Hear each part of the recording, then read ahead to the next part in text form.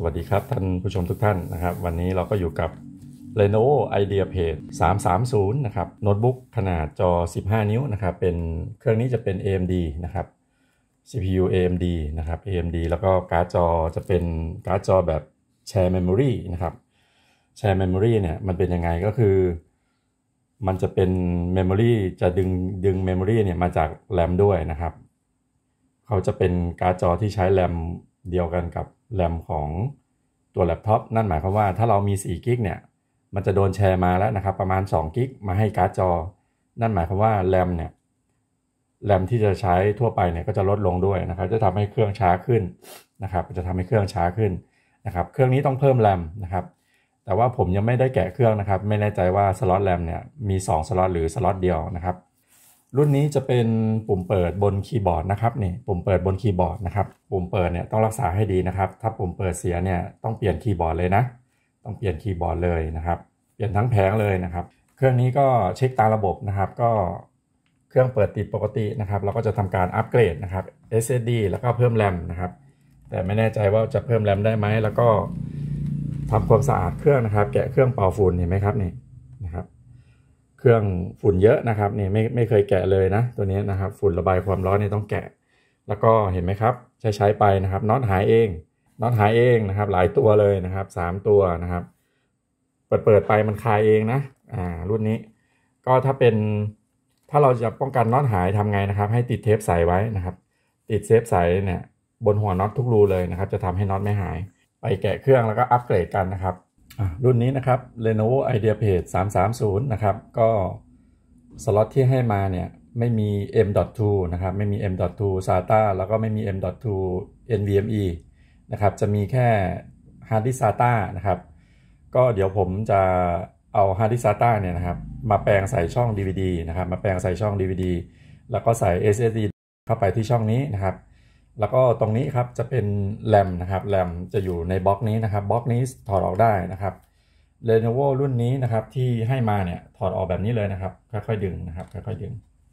เขาจะถอดออกได้นะแรมเดิมนะครับที่ให้มาก็จะเป็นแรม onboard ครับถ้าเสียมาก็บริหารจัดการยากนะ ถ้าเสียมานี่ก็มันจะทำให้คอมเปิดไม่ติดนะครับ ก็จะต้องเป็นค่าซ่อมบอร์ดไปเลยนะครับ ตัวนี้ก็ภาวนานะครับใช้ให้มันดีๆนะครับ แรมที่เพิ่มเราจะเพิ่มใส่ช่องนี้นะครับแรมที่เพิ่มเราจะเพิ่มใส่ช่องนี้ เขายังใจดีนะครับทำมาให้อีกสล็อตหนึ่งให้เราเพิ่มได้แรมเดิมจะเป็น onboard ใส่เข้าไปนะครับ ก็จะเป็นช่องนี้นะครับ เดี๋ยวเราใส่เข้าไปเนี่ยจะเป็นบัส2006นะครับ ก็ของเดิมเนี่ยจะเป็นบัส2004นะครับใช้ได้นะครับใช้ได้นะครับ มันจะ run ที่ต่ำกว่าอยู่แล้ว มันจะ run บนพื้นฐานตัวที่ต่ำกว่านะครับ ก็เดี๋ยวฮาร์ดดิสก์ตัวนี้นะครับ เราจะแปลงใส่ ใส่ DVD Caddy นะครับ แปลงฮาร์ดดิสก์ SATA เข้าไปที่ช่องนี้นะครับ เป็นแบบ slim นะ ใส่เข้าไปที่ช่องนี้นะครับ เป็นทางนี้นะครับ DVD เดิมเราจะไม่ใช้แล้วก็เราจะอัปเกรดนะครับ อัปเกรด SSD แบบ SATA เนี่ยนะครับ SSD แบบ SATA เนี่ยเข้าไปที่ช่องฮาร์ดดิสก์ตัวนี้นะครับ แทนแล้วก็ทำการลง Windows นะครับ เดี๋ยวเราลง Windows เสร็จปั๊บก็ทำการค่อยใส่ DVD เทเข้าไปทีหลังนะครับ ประมาณนี้นะครับ ก็เดี๋ยวเราไปอัพทำความสะอาดนะครับ ก็จะต้องทำความสะอาดพัดลมด้วยนะครับไหนๆก็เปิดเครื่องแล้วนะครับ ก็หยอดซิลิโคนให้หน่อย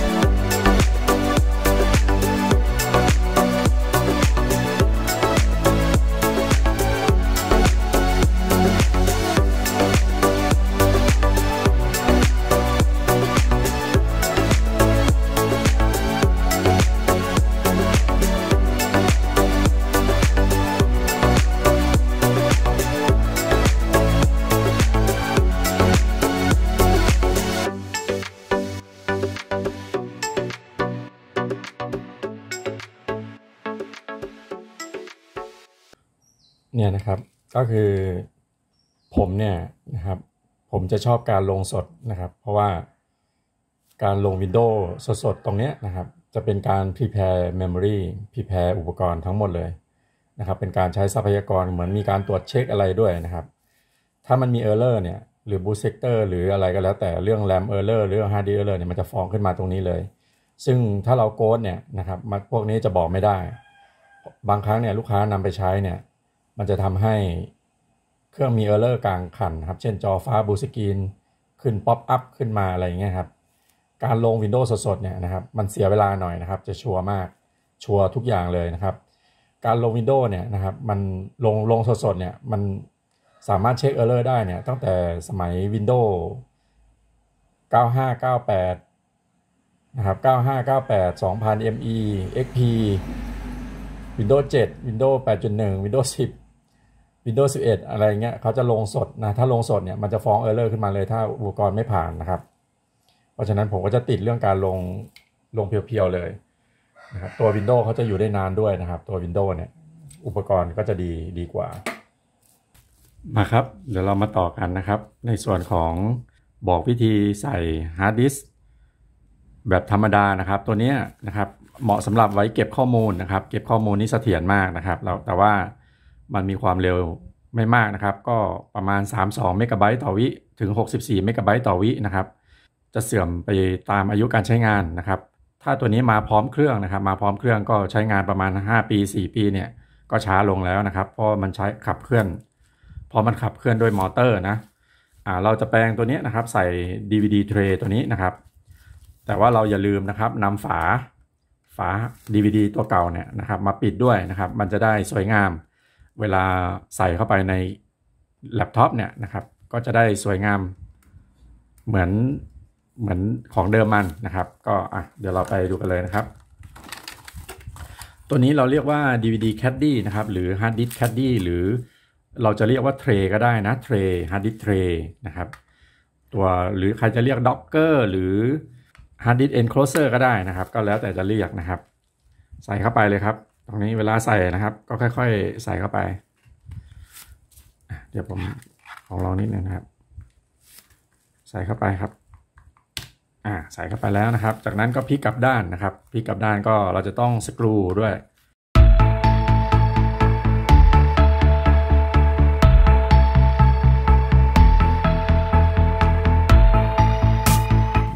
อ่าจากนั้นเราได้แล้วนะครับได้แล้วนะครับ จากนั้นเราก็ฝาครับฝา นะฝาตรงนี้เราจะต้องเอาฝาตรงนี้มานะครับ การแกะฝาเนี้ยนะครับ เราต้องทำดีๆนะครับทำดีๆนะครับ วิธีการก็คือเราจะต้องชักตัวนี้ออกมาก่อนนะครับ เราจะต้องเอาเข็มเนี่ยแย่เข้าไปในรูนะครับ จากนั้นเนี่ยเขาจะเด้งออกมานะครับเขาจะเด้งเด้งออกมานะครับแย่รูไปเนี่ยจะเด้งออกมานะครับ จากนั้นเนี่ยตรงนี้ก็จะมีเห็นไหมครับ ตรงนี้จะมีบั๊กอยู่เห็นไหมต้องถอดตรงนี้ก่อนนะครับ ถอดตรงนี้แล้วค่อยมาถอดตรงนี้นะ ดันลงนะครับ ดันลงแล้วดันออกดันลงแล้วดันออกเห็นไหมง่าย ๆ นะครับ จากนั้นไอ้ตัวนี้ก็กระเดาะออกไปค่อยๆค่อยๆทำนะครับ ตรงนี้หักง่ายนะหักง่าย ตรงนี้ก็กระเดาะมาด้านข้างๆนะครับ กระเดาะมาด้านข้างอ่าออกแล้วนะนี่ถ้ามาถึงตัวสุดท้ายนี่ก็ออกง่ายแล้วเห็นไหมครับนี่ง่าย ๆ นะอะเราก็เอาตัวนี้นะครับ ใส่เข้าไปนะครับ แทนช่องเดิมมันนะ จะได้สวยๆนะครับ เวลาใส่เข้าไปก็จะดูเนียนกริปนะครับอ่าใส่เข้าไปก็ใส่ตรงๆ ด้านไหนก่อนก็ได้นะครับ ใส่เข้าไปเลยนะครับ เขาจะทำมาให้พอดีนะครับ เนี่ยครับพอดีเลยไหมพอดีนะครับ เวลาใส่เข้าไปก็สวยเลยนะครับอ่าตรงนี้นะครับเราต้องใช้เทปใสนิดนึงนะครับใช้เทปใสอ่าเดี๋ยวผม ติดเทปใสนิดนึงนะครับ เพื่อกันมันล่อนออกนะครับ อ่าติดเทปใสนิดนึงนะครับ ติดเทปใสนะครับ ติดเทปใสนิดนึง ไม่เป็นไรนะครับ ตรงนี้ อ่าติดเทปใส่นิดนึงนะครับนี่ติดกันกันมันล่อนนะครับ กันมันล่อนออกนะครับ ข้างล่างไม่ต้องติดก็ได้นะครับ ติดแค่ข้างบนนะครับ จากนั้นอ่าพลาสติกเนี่ยนะครับ เราจะลอกออกก็ได้นะครับ เราจะลอกออกก็ได้นะครับ ใช้คัตเตอร์ปาดออก จากนั้นนะครับ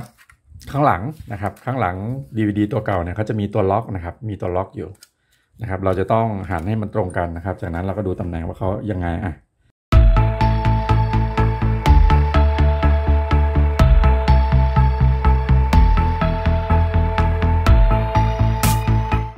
ได้แล้วนะครับ ได้แล้วนะนี่สายเข้าไปนะครับ ก็จะเป็นตัวล็อกนะครับ ก็ถือว่าเป็นอันเสร็จนะครับ นี่ก็สวยเลยนะครับ สวยติดเทปนิดนึงนะครับ เพื่อแน่นนะครับ นะครับไม่ต้องยิงกาวหรอกนะครับติดเทปเขาก็อยู่แล้วนะ โอเคครับ ขอบคุณครับ